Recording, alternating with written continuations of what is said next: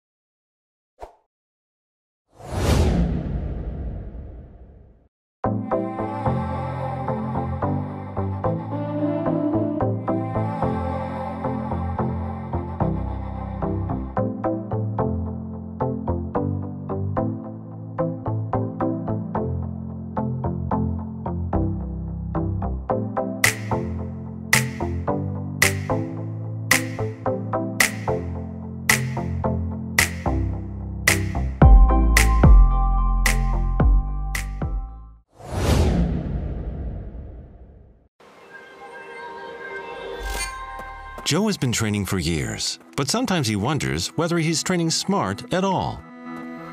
Joe wants to stay in shape and keep his calorie consumption in balance. Is that a piece of cake? Calorie consumption varies a lot, and it depends on how hard you train. Many products and sports applications calculate calorie consumption based on speed, but that is just an estimation.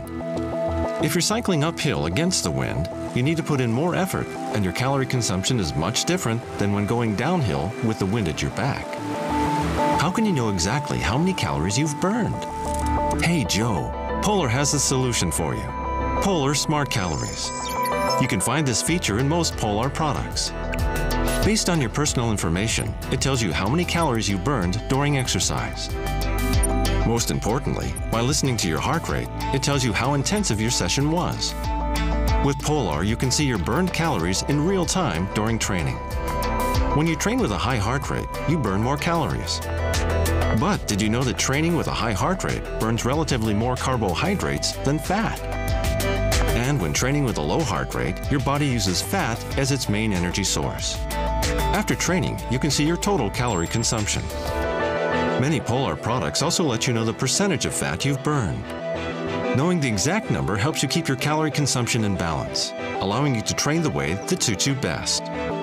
With Polar Smart Calories, it really is a piece of cake. No one guides like Polar.